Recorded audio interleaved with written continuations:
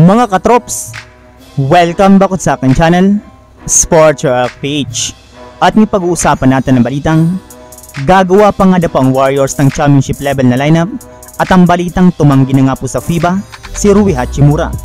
Pag-uusapan na rin nga natin dito sa ating panibagong video ang balitang nagsimula na nga pong mag-practice ang mga bagong player ng Los Angeles Lakers.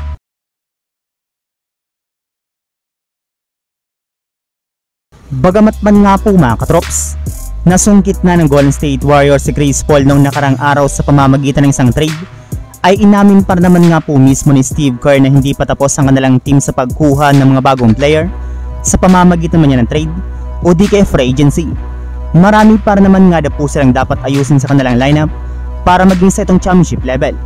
At isa na nga po sa kanilang mga gagawin sa mga susunod na araw ay ang pagkuha nga po ng bagong sentro na magpapalakas ng kanilang frontcourt. Sobrang kailangan na naman nga na po talaga nilang magkaroon ng backup center sa kanilang lineup kung gusto man nga po nila makipagsabayan sa ibang malalakas na kupunan katulad na lamang ng super team ng Phoenix Suns, Los Angeles Lakers at ang ating kampiyon na Denver Nuggets.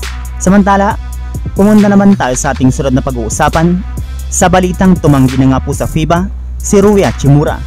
Ayon nga po mga katrops, sa naging pahayag mismo ni Rui Hachimura, hindi nga na po siya sasali pa sa gaganaping 2023 FIBA World Cup bilang parte ng Japan sa darating na Agosto. Gayong mas paghahandaan nga po niyang pagpasok nito sa kanyang kauna-unahang free agency sa kanyang karir sa NBA. Mas prioridad nga po nito ang kanyang future at ang pagkuha niya ng bagong kontrata ngayong season. Gayong delikado nga at baka magtamo pa siya ng injury sa FIBA World Cup nang wala pa siyang nakukuha ang kontrata sa Los Angeles Lakers o di kaya sa ibang kupunan. Habang dumako naman tayo sa ating sunod na pag-uusapan, sa balita nagsimula na nga po mag-practice ang mga bagong player ng Los Angeles Lakers.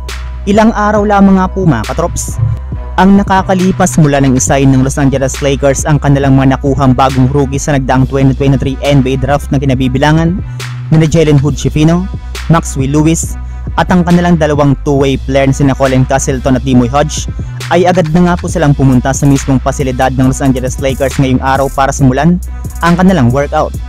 Bali meron rin naman nga po silang sasali ang tournament next month at yan nga po yung 2023 NBA Summer League.